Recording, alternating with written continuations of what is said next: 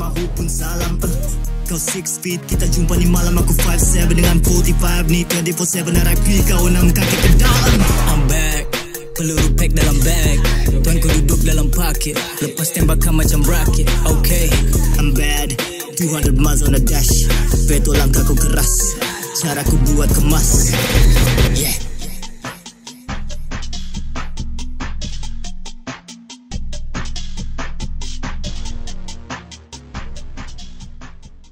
And we're back, baby. What's poppin' everybody? It's your boy Carlo Lito, kid from Borneo. Welcome back to this channel. So saya nampak dekat message yang korang berikan dekat saya uh, melalui DM Instagram dan juga dekat comment section di video kita yang lepas, right? Berkenaan dengan uh, Gibbs ataupun GISB. Saya to be honest saya kurang info kalau pasal ni. Tapi menurut kefahaman saya, Gibbs ni adalah uh, gerakan organisasi um, ajaran sesat. Nah, I don't know. Dia gerakan seperti um, agamawan yang menyerupai agama Islam dengan ajaran yang bertentangan dengan ajaran agama Islam. And betulkan saya kalau saya uh, tersilap cakap ataupun salah info yang saya cakap itu menurut apa yang saya tahu lah kan. So kalau saya tersilap betulkan saya dekat comment section di bawah. Alright. Apa yang saya dengar organisasi ini sudah lama wujud. Orang bilang dia sudah lama beroperasi sejak kita belum lahir lagi. Betulkah tidak geng? I don't know. Siapa-siapa yang pro pasal ni tolong fahamkan saya ataupun bagi saya butiran info daripada A sampai Z dekat comment section di bawah. Alright. Anyway, kita check out apa yang kita boleh check out hari ni sambil kita react orang bilang. Also, um I just want to say this. Saya ada baca komen dari tu and saya tahu ada yang akan cakap, "Carlo, kenapa tidak buat kajian dulu baru buat video?" Man, shut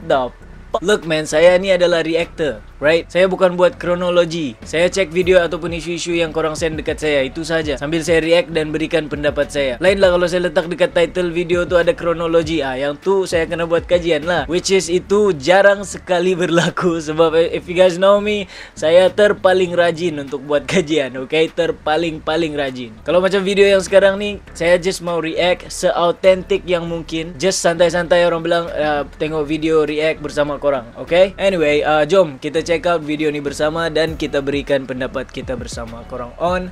Let's go. Iron Man, um, let's see what we got here. Let's go. Empat premis termasuk dua rumah jagaan kanak-kanak yang dipercayai berkaitan dengan Global Equine Service and Business Holdings GISB di sekitar seberang perai Pulau Pinang diserbu pihak berkuasa pada Sabtu. Global Equine Service. Oh, itu GISB. Global Equine uh, Sendirian Berhad.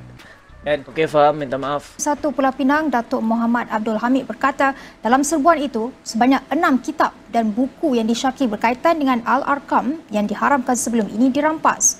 Kesalahan itu berkait dengan peruntukan enakmen kesalahan jenayah syariah negeri Pulau Pinang 1996 see, buku ni sudah pun diharamkan geng kan benda ni sudah kantoi diharamkan sudah buku ni cuma maybe organisasi ni orang mau tubuhkan semula kan I don't know Polis Diraja Malaysia pada Sabtu melancarkan fasa 4 Ops Global yang tertumpu di semua negeri di Semenanjung bagi mengesan saki-baki ahli yang terlibat dengan organisasi Global Equine Services and Business Holdings GISB.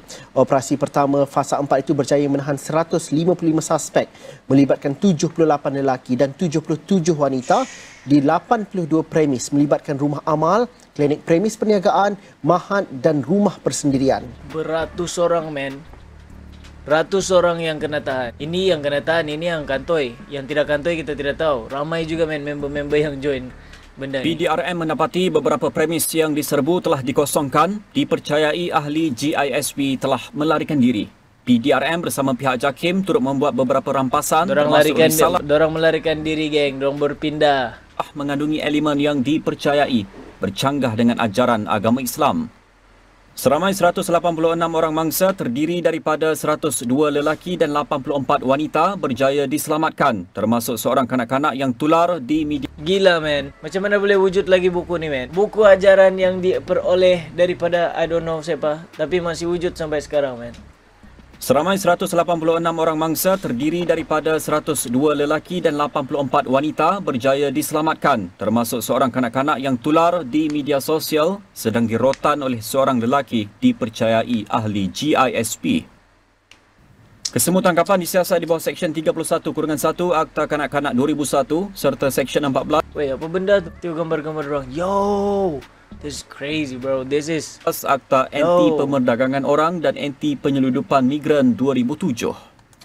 Operasi Fasa 4 ini melibatkan kekuatan keseluruhan 3,801 sumber manusia meliputi Yang PDRM lah, man. Yang 2,528 pelik-pelik lah. pegawai dan anggota serta 1,273 kaki tangan agensi kerajaan yang lain seperti Kementerian Kesihatan, Jabatan Kebajikan Masyarakat, JAKIM, Jabatan Kimia dan Jabatan Pendaftaran Negara.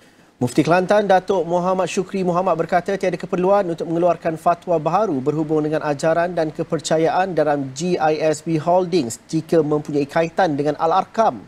Menurut beliau, ini kerana fatwa ajaran Al-Arkam yang telah dikeluarkan sebelum ini sudah lengkap untuk dijadikan rujukan.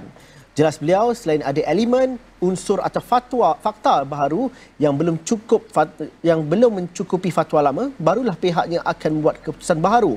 Pada Jumaat, Jawatan Kuasa Fatwa Negeri Perlis memutuskan kepercayaan dan ajaran dalam GISBH mengandungi unsur ajaran sesat khususnya batiniah.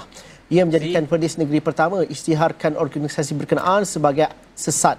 Mufti Perlis man. Datuk Muhammad Asri Zaid Ajaran sesat, man. Korang jangan ter man, jangan terpengaruh dengan ni, man. Jangan mudah terpengaruh, okay? You know better than that. Korang semua ada otak, right?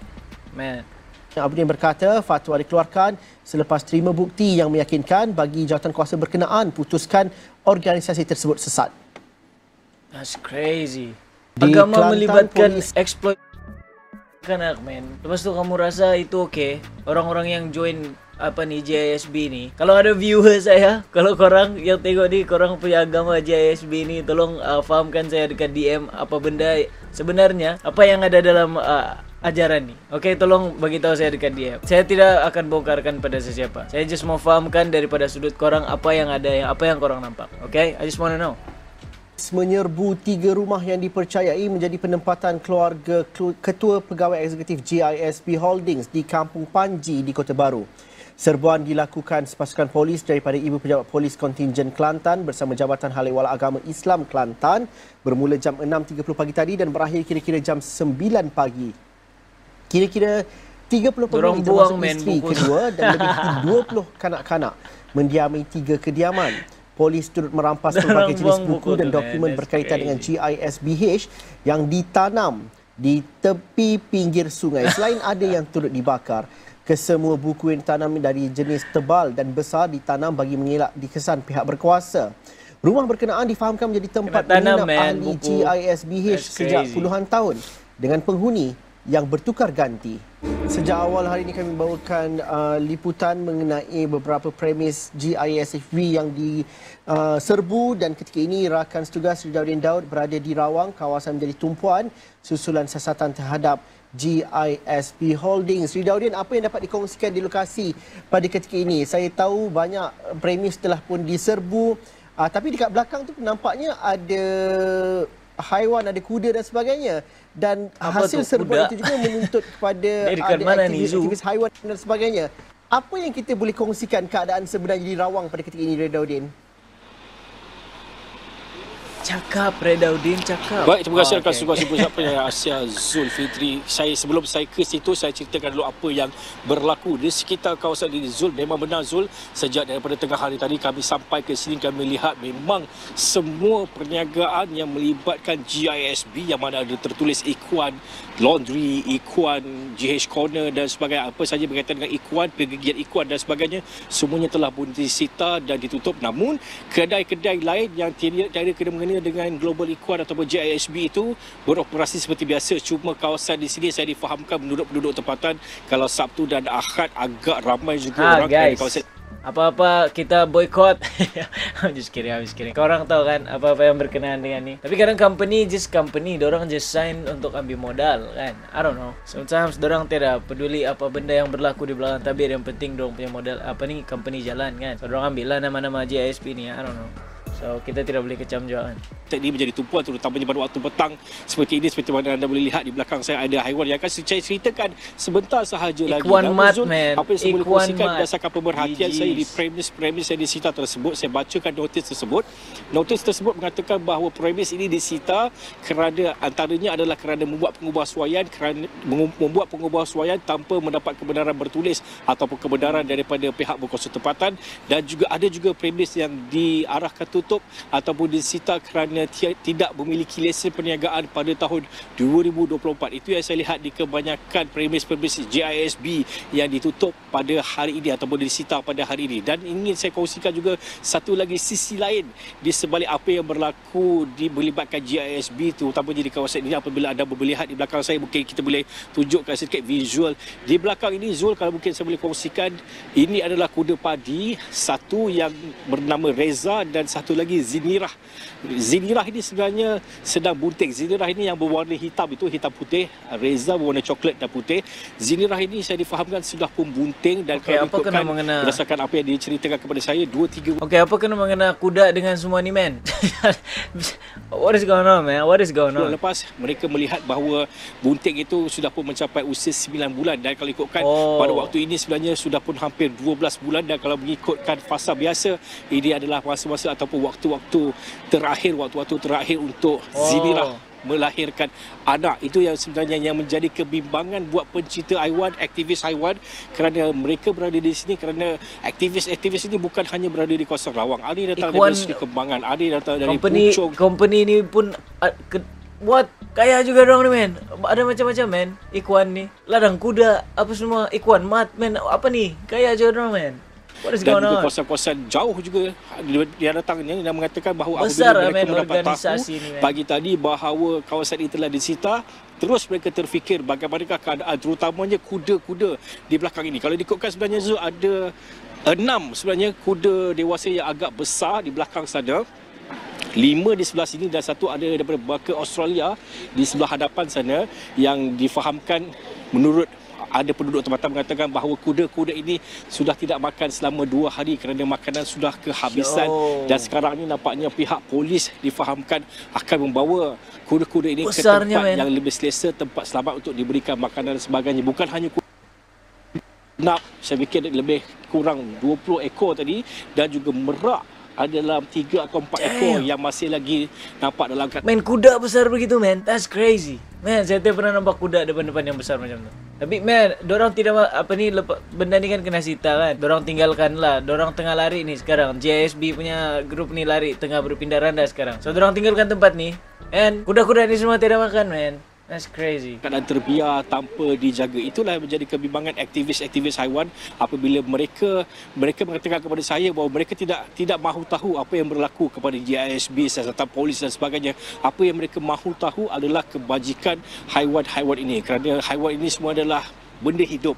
Jadi benda hidup ni ketika berlaku perkara sebegini sudah pasti pengabaian tidak boleh dibenarkan kerana inilah yang mereka kerana itulah mereka hadir ke sini untuk memberi yang datang beri makan dan sebagainya kepada kuda-kuda ini yang datang dari Seri Kembangan bawa rumput-rumput khas untuk kuda dan berikan kepada mereka makan dan menurut mereka kepada saya mereka bercerita kepada saya ada kuda-kuda itu berlahap Syabas. malah ter- mungkin sudah lama termakan terlalu lahap dan ada juga yang mengatakan mungkin ada yang tak percaya tapi ada yang mengatakan bahawa ada kuda yang meniteskan air mata kerana mungkin bersyukur akhirnya dapat menerima makanan selepas apa yang berlaku kalau- di sini Zul. Dan kalau saya dapat tanyakan, dia memberikan cerita daripada sisi haiwan-haiwan yang ada di situ. Itu refleksinya apabila dah dua hari mungkin selepas uh, account Dia potong man Orang tengah syok Oh ada kuda yang sampai menangis Dapat makanan Kacau daun lah man dia ni Dia macam Eh kau Apa kau merepek ni man global ikuan dibekukan oleh pihak PDRM dan sebagainya. Tetapi bagi di kawasan country homes itu sendiri, bagaimana? Ini adalah lot-lot kedai yang kebanyakannya dimiliki oleh global ikuan. Sejurus apabila ianya disita, adakah kawasan itu lumpuh, uh, sunyi ataupun bagaimana, Din?